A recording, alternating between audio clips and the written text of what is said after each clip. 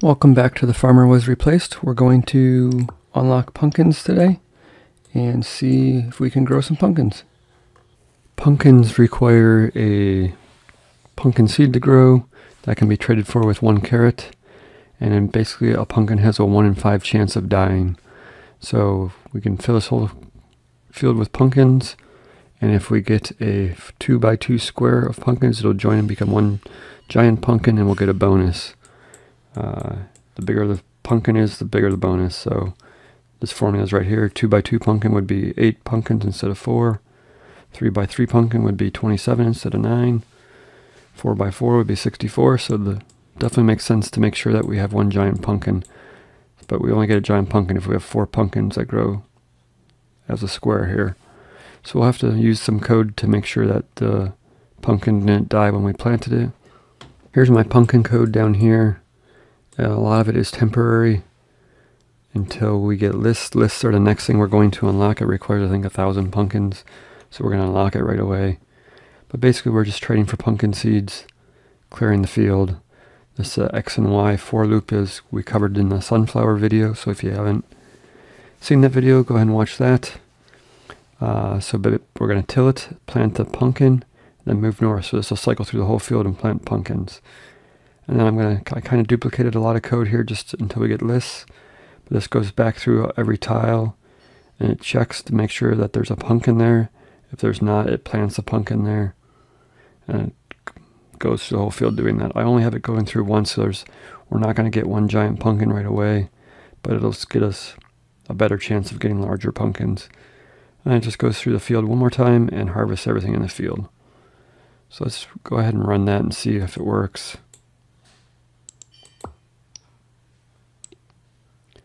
We have to call it from call from this code because this, this, this is just a definition of the code. We actually didn't call it anywhere. Grow pumpkins. All right. So there it goes planting the pumpkins. So we only got one giant pumpkin out of that one. But we can just do this a couple times. As long as all four of these grow, we'll get a giant pumpkin. Got two giant pumpkins that time. So I'm going to run this just to get my 1,000 pumpkins so we can make a list and then we can do this the proper way. So I noticed this code wasn't really working because we don't trade for pumpkin seeds the second time around. So when it gets to here that we don't have any pumpkin seeds left and there's no, no way it can plant a pumpkin. So we're going to have to trade again. We'll definitely find a better way to do this once we get the list unlocked. But that'll at least get us more pumpkin seeds, so now when we hit play, it should plant pumpkins where they died. But then again, doesn't let them give enough time to grow, so that doesn't really matter. But we'll have a thousand pumpkins here pretty soon, so... This is taking a little longer than expected, but we do have 273 pumpkins. So let's go ahead and expand the farm. That'll help speed up the pumpkin growth here. Now we have one whole extra row of pumpkins being planted.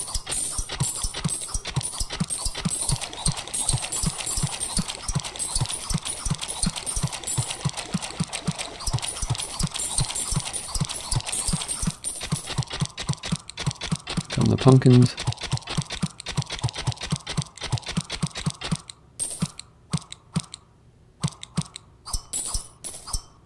That worked out a little bit better. We did get one giant pumpkin there for a little bit there.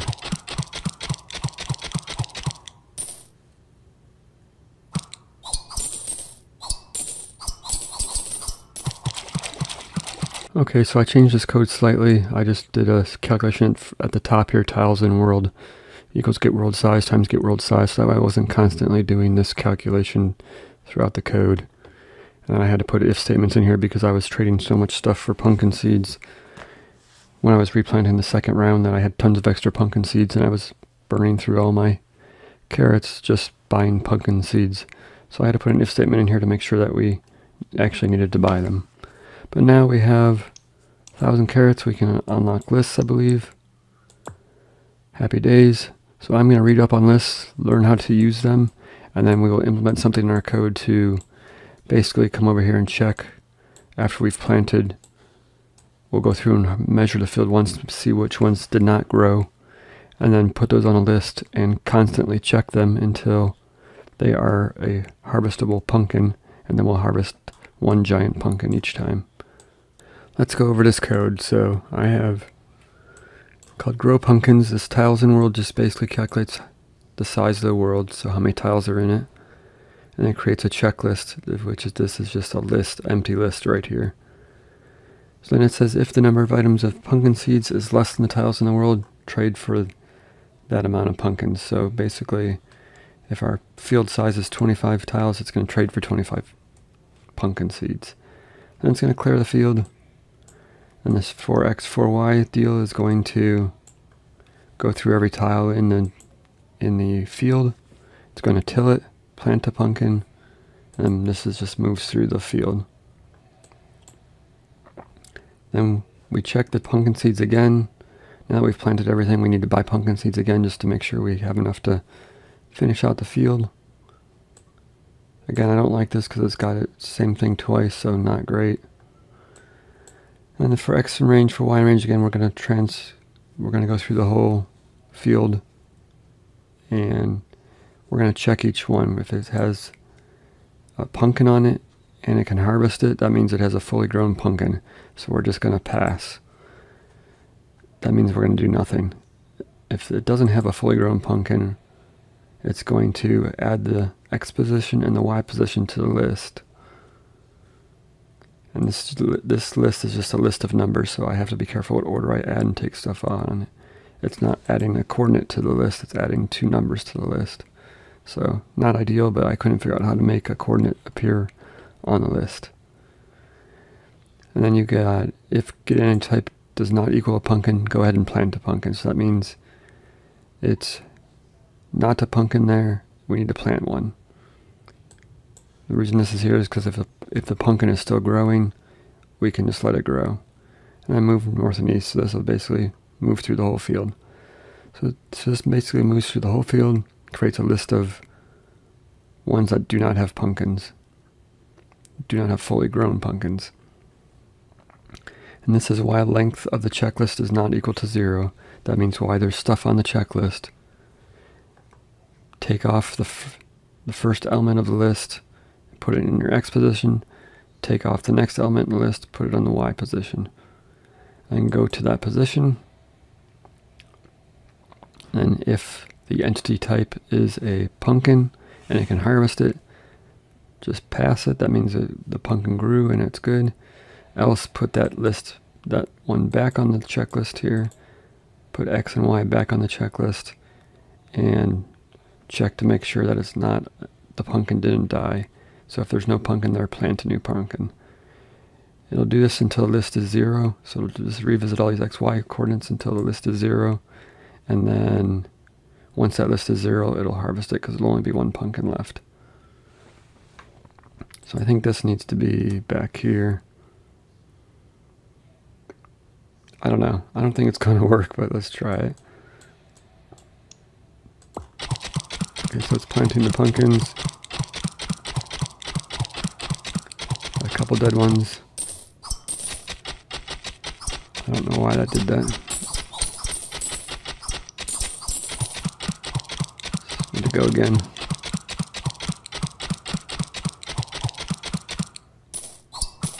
It's harvesting the pumpkin. I don't know why it's harvesting the pumpkin. Let's see if I can move this up here. I'll wait till it gets the pumpkins again and we'll try to follow it. Alright, so it's going through this.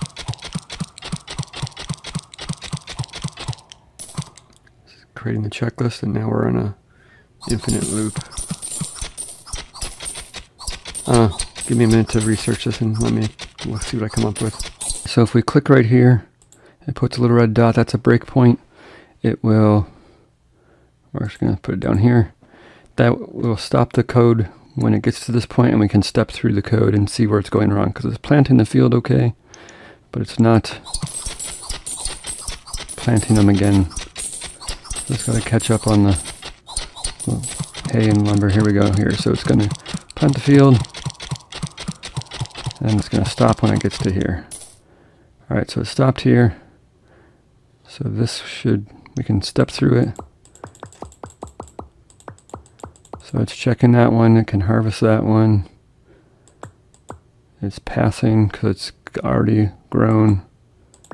But it's not moving, it's just doing it again. So why is it not moving?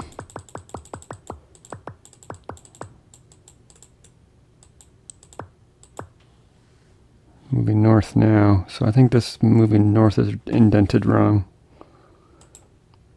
So this should be over here and this should be over here. Yeah, that makes more sense. Let's turn that off, try it again.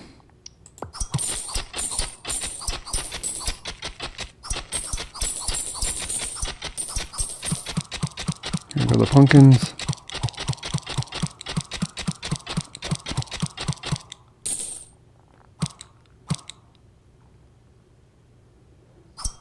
There we go. Looks like it's working. Cool. I'll let it run a couple times to make sure it's working, but that actually looks like it's doing its thing.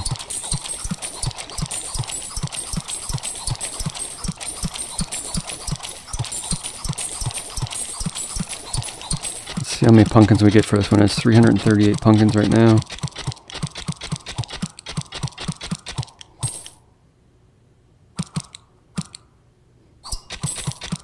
There we go, so we have 463, so over 100 pumpkins. One, two, three, four, five. So five times five times five, 125 pumpkins. And it looks like it's working consistently. Good stuff. Between episodes, I'll ponder this, but we're essentially running this code twice here. This if get entity type pumpkin, this code here, we're essentially running twice because it runs it the same thing right down here. So if you have any ideas on how to fix that, leave me a comment. I'm going to revisit the sunflowers real quick. I think we're going to, I'm going to copy this over here just so I have a backup of it. I'm going to comment that out so that it doesn't confuse the code. But I'm actually going to get rid of these locations. It's kind of holding me back, I think. So let's get rid of that. Let's get rid of this. And we're just going to plant the whole thing in sunflowers and measure each one and figure out what the max petal size is basically. We don't care about its location, we just want to know what the maximum amount of petals is on the field. And then we will, let's see, let's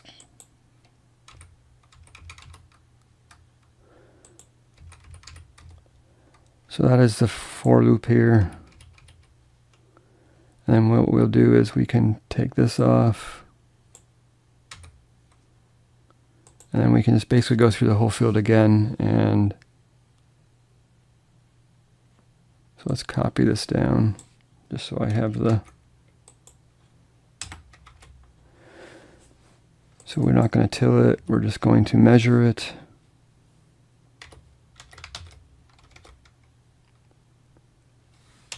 So we don't actually need to measure it here, we're already doing that. We're not planting anything. So right here, if measurement is greater than max petals, and actually we can just change this to equals to now. Max petals equals measures. We're not going to set that anymore. We're actually just going to harvest it.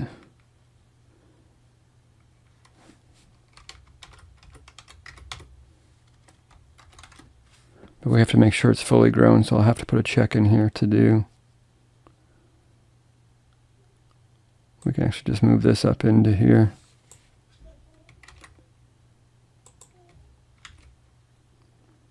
So y entities equals sunflower.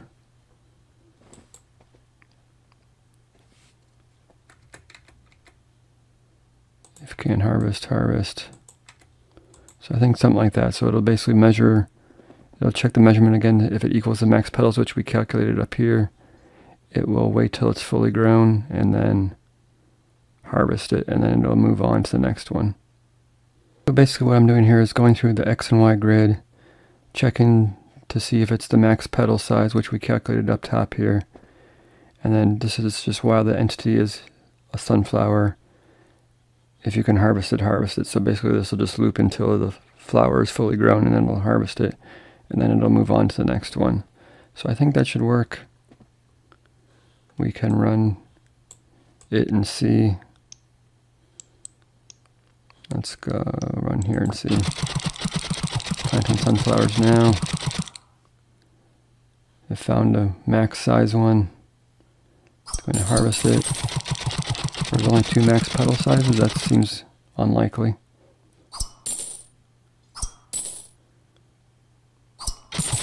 that seems to be working better. It's picking up the highest ones. We could even set it to go with one further and subtract one from here and pick out the second highest ones.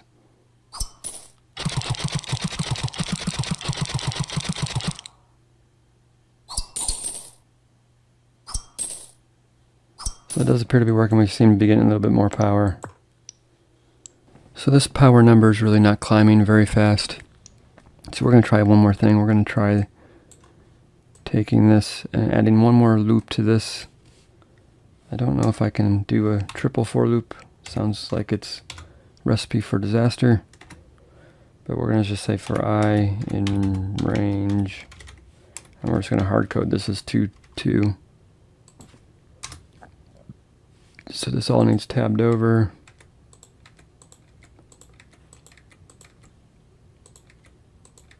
Then we're going to put it down here.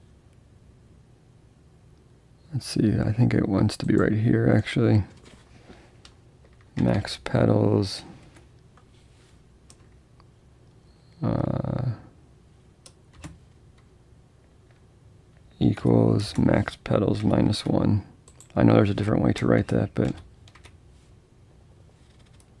and that way it'll it'll harvest all the max petals, it'll subtract one from it, and then it'll go through this again and pick the ones with the second highest petals. That way we should get almost double the amount of power out of it. I don't know if that's going to work. We already have an error. Must be a colon at the beginning, so we need a colon here. So I think this will operate twice. Let's try it.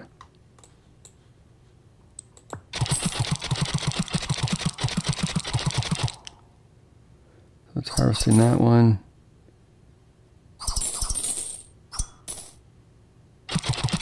Yeah, that was definitely better. I got 46 power out of that one.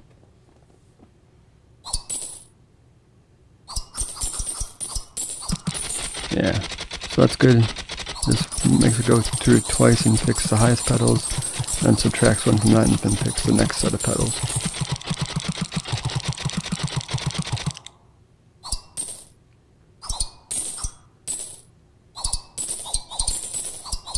That's going to do it for this episode. Thanks for watching. We'll see you next time.